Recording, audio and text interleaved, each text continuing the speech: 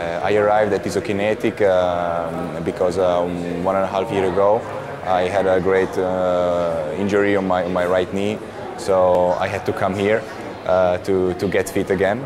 And uh, because I play here at Bologna uh, football, uh, I know that our club has a great collaboration with, with Isokinetic and uh, I also knew about the, about the name of Isokinetic that is a very well uh, known uh, structure in, in Italy but also in Europe so I can only talk very well about the structure, about Isokinetic, but because uh, even if I had to come here to, uh, to work, uh, but the 90%, 95% was Isokinetic that, that took care about me with the people that I worked together.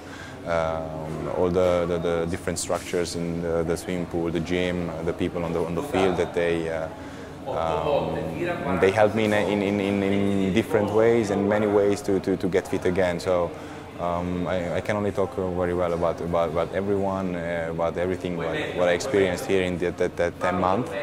Uh, even though because uh, you know when you get injured in that way, uh, it, it's never it's never easy to, to come come back again. Even if I never had the doubt that that maybe one day I couldn't turn back the player that I was before. And after I got hurt on my knee in February 2011, and at the end of October 2011 I made my first game uh, again in the, in the Italian Championship. So after after 10 months I did my, my first game, but after I had I needed other, one and a half months again to, to get fit and, and to be able to say that now I'm the player that I was before.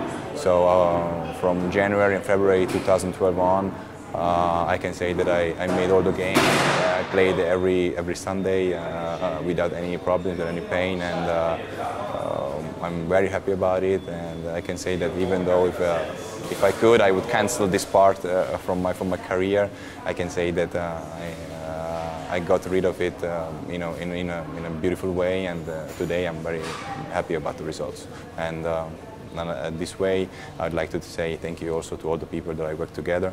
Uh, even maybe if you greeted him in the morning uh, with a smile, or when you worked with him in 10 months, uh, I would say thank you to all of them and thank you.